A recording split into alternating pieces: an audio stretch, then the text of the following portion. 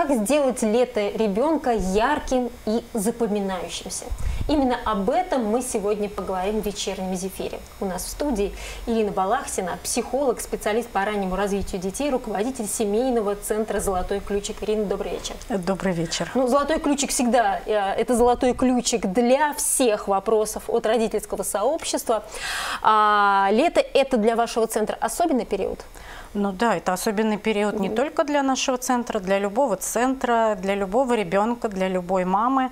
И важно не упустить момент и э, с пользой провести, конечно же, это время. Потому что все устали за год, всем хочется отдохнуть. Да, но очень много полезного можно в этот период э, ребенку сделать, э, позаниматься и ну, не упустить время, да, ребенок растет, каждая минута, каждое мгновение, он уже другой. Поэтому лето тоже можно провести с пользой, с интересом, чтобы ребенок его запомнил, чтобы ребенок новые навыки приобрел. Вот и, конечно, общение с родителями никто не заменял. Угу. Угу. А, но в отличие от учебного года, когда мы интенсивно занимаемся, все-таки лето должно иметь совершенно другой да, характер. Конечно. Да, какие здесь подходы есть? Да, лето, конечно, другой угу. совершенно характер должно иметь, но э, смотря про какой возраст мы говорим. Угу, угу. Да? Итак, давайте тогда сразу, да, тогда поясним нашим телезрителям, на какие возрасты есть программа у детского центра. Ну да, наш угу. детский центр работает в основном со школьниками и младшие школьники. Э, соответственно, если мы говорим как сделать лето ярким, лето ребенка какого возраста сделать, да? Если самые малыши, то для них очень важно сенсорное развитие, не просто бегать э, по горкам, это все, конечно, полезно, движение, да, но э, если родители хотят развивать своего ребенка, то это большой труд. Э, мама там или папа или бабушка, кто гуляет, постоянно разговаривать, развивать речь, правильную речь, да, вот птички прилетели, они гули-гули. Э, для этого родители сами должны в первую очередь э, за собой, за своей речью следить и готовиться там к той же прогулке, да, обращать внимание на какие-то вещи. Вот сейчас желтые одуванчики. Посмотри, как красиво, это ребенку ни о чем. Давай с тобой одуванчик посмотрим, он желтый. Давай соберем такие же желтые одуванчики. Давай посмотрим, какая травка красивая, давай посмотрим, какой паучок ползет. Да, все это требует от родителей, конечно, большого все равно напряжения э, и подготовки. Если идти на улицу, допустим, с каким-то подготовленным материалом, то, конечно же, это трудоемко.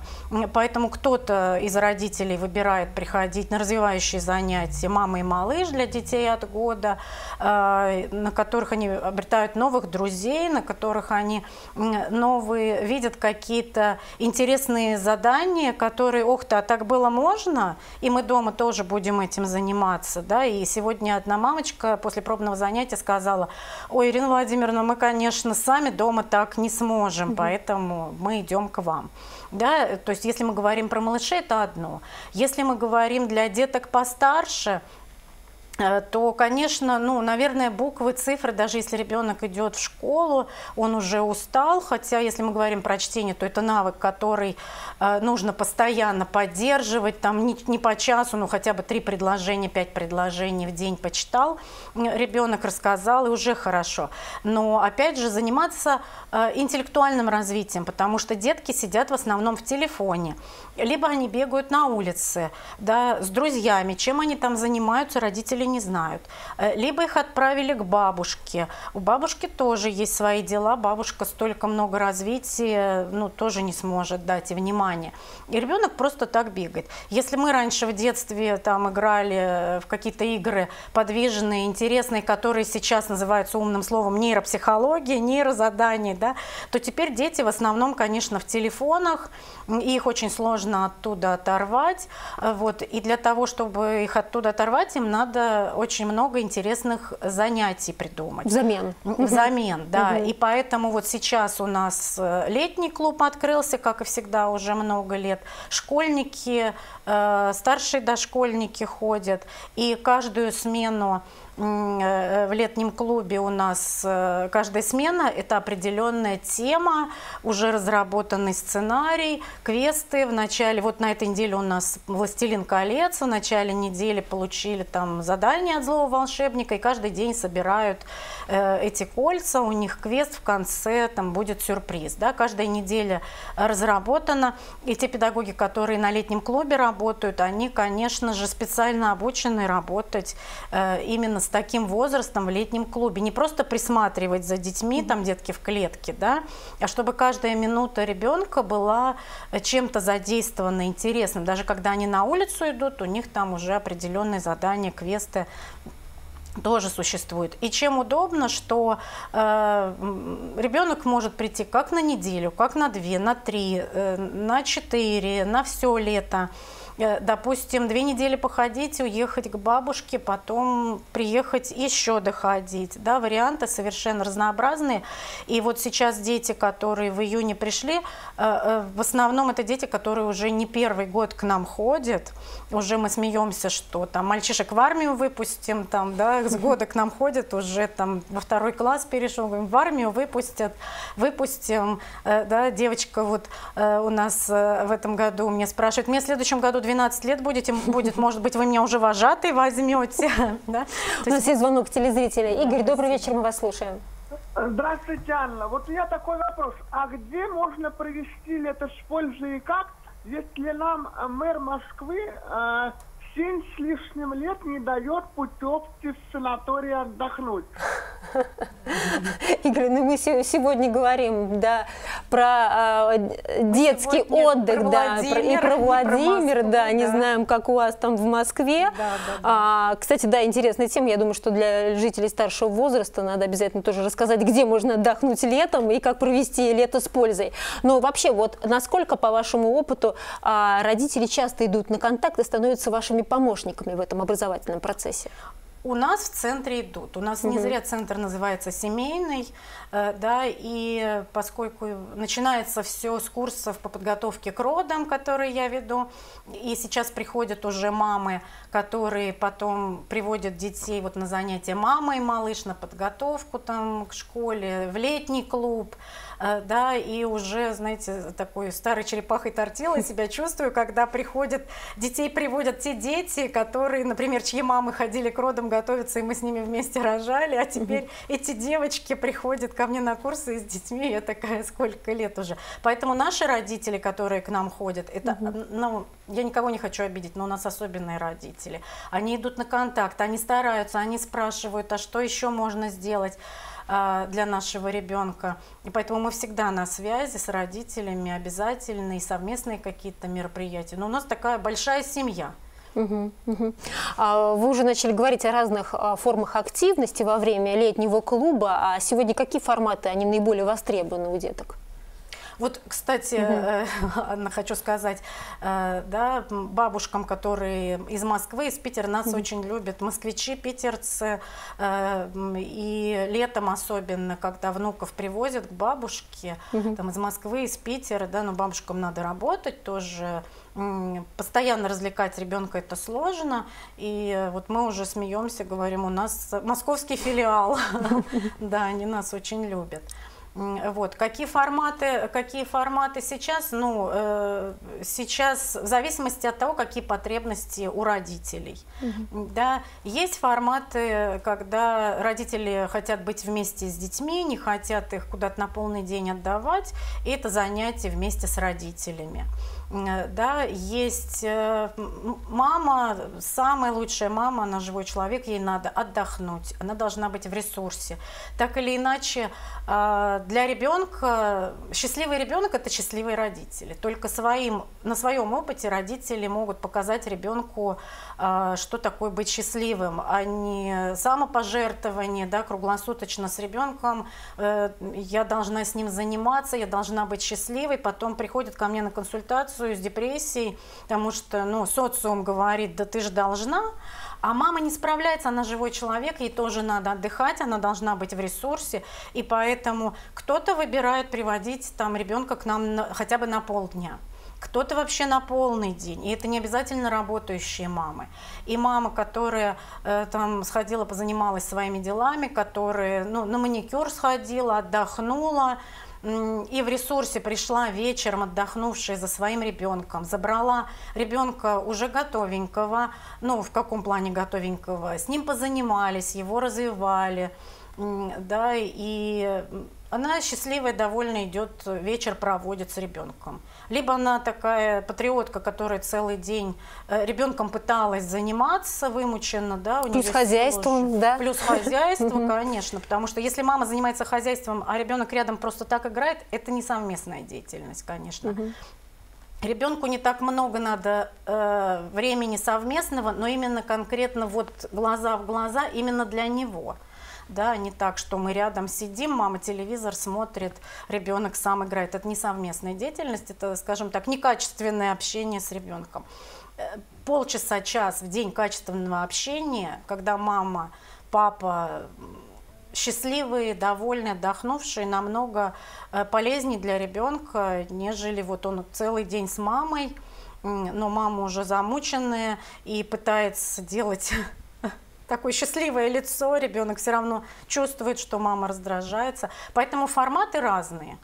Можно отдельно по часам, можно на полдня, можно на целый день. Ну, выходные сейчас на лето у нас больше переходят на неделю, потому что выходные родители хотят с детками отдыхать вместе где-то на природе. Угу. Ну, конечно же, встречный вопрос, если вот на, настолько как бы а, не, а, неустойчивая группа, да, где детки могут ходить по желанию в разном графике, то как они входят в коллектив? Ведь многие дети Нет. бывают очень особенные, да, им очень да. сложно прийти к, незна к незнакомым. Нет, группа устойчивая, угу. то есть угу. это совершенно разные группы. Угу. Если родители вместе с ребеночком ходят на занятия, это одно расписание. Угу. Если ребенок хочет на полдня, то он, ну, родители, если хотят угу. ребенка на полдня, то, конечно же, это, ну, прямо они каждый день ходят просто на полдня. Угу. Потому что, ну, да, вы правильно говорите, что если мама вдруг, как в игровую комнату, решила привести ребенка, ему угу. надо адаптироваться раз, незнакомая обстановка. У нас идет занятие, а педагоги должны бросить деток э, и внимание уделять новому ребеночку, да, весь процесс тогда, конечно, летит. Поэтому, если это пребывание целый день или это пребывание полдня, то это тогда вот регулярные посещения уже. Если это э, занятия часовые, значит, это определенный тоже э, есть график, расписание, родители э, место в группе занимают, допустим, угу. на месяц, и все. И мы это место уже не можем занять, даже если ребенок где-то пропустил. Угу.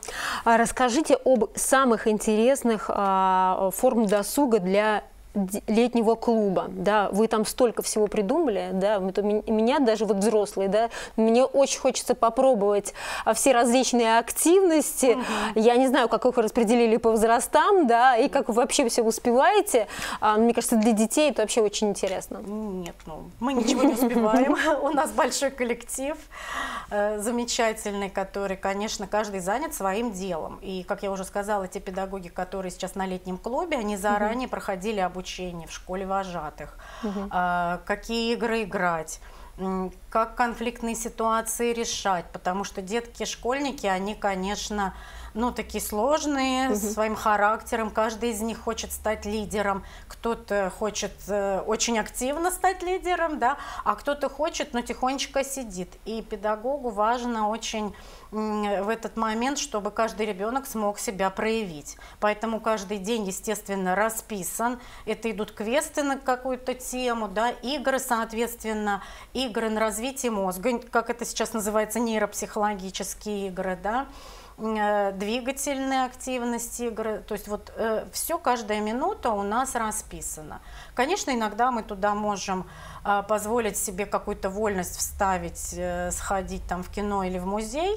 Но, честно говоря, поскольку у нас дети уже много лет в клуб наш ходят, и мы уже весь город обошли, уже на всех выставках, на всех музеях были, поэтому удивить наших детей очень сложно какими-то владимирскими выставками. Э, вот. И вот у нас сейчас эбро рисование красками на воде, да, завтра угу. у нас будет очень интересное такое занятие. Вот. Даже полдник там своими руками сделанный, Даже дети, которые плохо кушают малоежки, они с удовольствием его съедают. И, конечно же, вот эта вот физическая активность, сначала они, что там у нас э, отдыхать днем? Нет, нет, нет. Но они просто вот падают. Угу. Как строится обычный день в клубе? Вот какой распорядок? А, обычный день вот э, в летнем клубе, mm если это касается вот деток, которые старшие дошкольники mm и младшие школьники, да, то обычно они где-то с 8 до 9 собираются, потому mm что любят поспать, у них каникулы, да, и как-то строго им к 8 часам подходить сложно. Потом у них э, зарядка, либо нейрогимнастика обязательно, да, э, в этом году завтракают они дома, потому что ну, не хотят детки, скажем mm-hmm. так, кушать с утра. Очень сложно их накормить, у каждого свои там потребности. Вот. И в зависимости от погоды у них уже начинаются мастер-классы и квесты либо на улице, либо в помещении у нас, да, вот. И, в принципе, как бы потом прогулка, то есть на прогулке тоже они э, задействованы, у них там продолжение квеста идет. Обязательно, конечно же, ну, отдыхают. Не обязательно это спать. Э, э, вот, читают книжки, кто-то засыпает, прям падает себе подушечку, берет это школьники, у них, конечно, такие вольности, да, и после тихого часа у них тоже идет какой-нибудь мастер-класс, потом они готовят э, полдник своими руками, все это с удовольствием съедают, да, и опять они встречают родителей э, уже на улице, если хорошая погода. Угу. Вот, то есть у них постоянно какая-то активность, они тоже очень устают, они уже начинают просить э, дайте нам просто отдохнуть, но когда им даешь просто отдохнуть, они сразу в телефон садятся, вот, поэтому телефоны у нас под запретом, телефоны у нас в шкафчиках лежат только для связи с родителями, чтобы родители были спокойны. И у нас есть отдельный чат для родителей, куда все фото, видео нашего дня выкладываются, и чтобы родители тоже были спокойны, чем их детки в это время занимаются. Угу. Замечательные условия, мне очень нравится. А, давайте а, перейдем к категории самых маленьких. У вас есть детский сад, да, угу. и его режим работы в летний период какой? Режим работы всегда один и тот же, круглогодично угу. с 7 утра до 7 вечера. Э, вот, и, у нас есть такие детки, которых прям в 7 ровно приводят. Родителям угу. так удобно, либо родителям на работу надо, да, и, ну, для ребенка такой рабочий день полный. Вот, соответственно, собираются тоже э, завтрак э, половины девятого, до завтрака зарядка, тоже нейрогимнастика у нас идет обязательно, даже независимо от возраста, и малыш, малыши тоже. Потом начинаются занятия. А, вот, э, очень интересные у нас каждый день занятия. Это сенсорное развитие, музыкальное развитие идет. А, тоже родители получают фото-видео э, каждый день э, в чаты. Вот. И обед, сон – после, обед, после сна опять э, какое-нибудь занятие. Конечно же, обязательно есть свободная игровая деятельность, потому что деткам тоже это важно, чтобы они учились между собой взаимодействовать, тоже играть. Вот. Кого-то в 5 забирают, кого-то в 7 забирают. Суббота-воскресенье, конечно же, родители сами занимаются с детками. Вот. Э. А как будет там летняя тематика? Отражаться. Летняя, угу. летняя тематика, если прям самых маленьких ясельки брать, угу. да, то сейчас очень много у нас а, э, всяких тем именно с летом. Сейчас вот у нас лексическая тема насекомые угу. идет, да, и мы ее под, потом завершающее занятие мы выносим на улицу, чтобы тоже детки видели то, что мы закрепили, да, тот материал, не просто там посмотрели на муравья, на пчелку, на картинки или на игрушки, а прям обратили внимание, что вот они тут есть, они mm-hmm. тут ползают, да, э, Потому что если тема домашние животные и современный ребенок увидел живую корову, это же столько счастья. Э, вот, поэтому они, конечно, должны все это живьем увидеть. Потом у нас сейчас, э, э, соответственно, в зависимости от групп, темы усложняются. Сейчас мы не берем летом там никаких чтений, там математик, да, если это лексическая тема какая-то идет, идет просто усложнение по возрастам в каждой возрастной группе. Скоростной интеллект Магусам мы все равно проводим. ИЗО, э, потом у нас сейчас закончится лексическая тема насекомые, у нас море начинается, у нас будет очень много игр с водой разнообразных, дети это очень все любят да, и, соответственно, они такие, там тоже получается такой квест, экспресс-курс, да, и каждый день там какая-то, э, каждую неделю определенная тема. Вот театраль, сказка на ладошке, много вот такой, знаете, погружений, музыкальное погружение, театральное погружение, чтобы детки не просто смотрели их, развлекали, а чтобы они учились, развивались, э, включали творческое воображение, да, и тоже сами с этим всем взаимодействовали, придумывали, что из этого можно делать. Э, вот, то есть, ну, Сами мы взрослые, наверное, не доиграли в детстве, поэтому мы сами с удовольствием там играем. Буквально пару минут эфирного времени. Всегда а, для образовательных учреждений лето – это построить планы уже на новый учебный год. А в каких направлениях хочется развиваться? А, значит, смотрите, Анна, у нас не образовательное учреждение, у нас э, клубная деятельность, то есть у нас клуб, да, и, естественно, сейчас мы уже летний клуб э, запустили, и мы начали готовиться уже к сентябрю. И у нас уже 70% мест уже э, на сентябрь э, занято именно предоплатой. Поэтому э, ну, к сентябрю там то, что останется. В сентябре, естественно, там традиционные такие вот флагманские наши курсы. Это подготовка к школе, это «Мама и малыш», «Сказка на ладошке», ИЗО, дизайн, креативное рисование – и ну, есть у меня в планах новые, э, новые проекты, но не буду про них сейчас рассказывать. Хорошо, но ну, об этом узнают прежде всего, наверное, сами участники семейного клуба, а потом ну, уже информация да, дойдет до нас. Да.